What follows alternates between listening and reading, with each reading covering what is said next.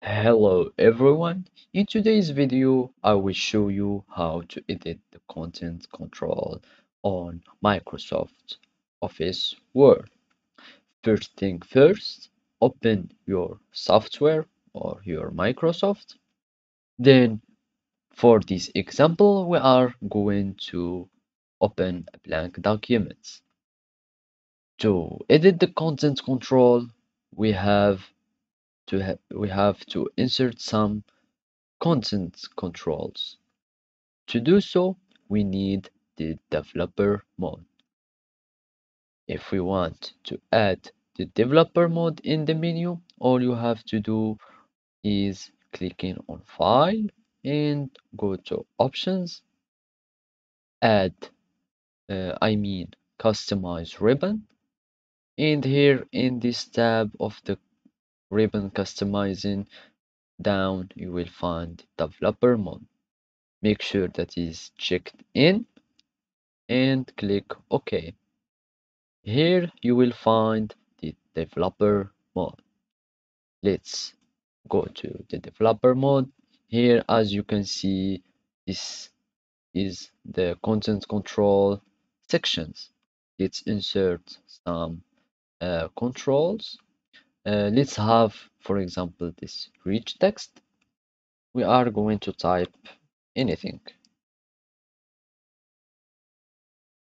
To modify or edit this content control, all we have to do is property.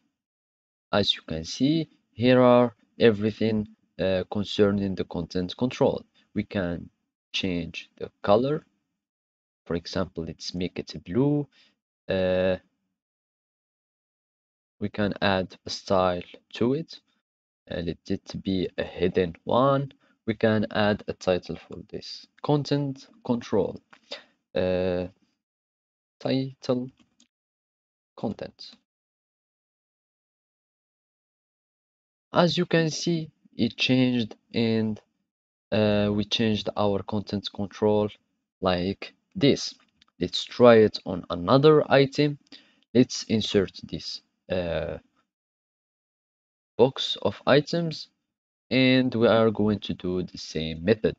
We are just going to click on property. As you can see here we can edit our content control. Let's add some items.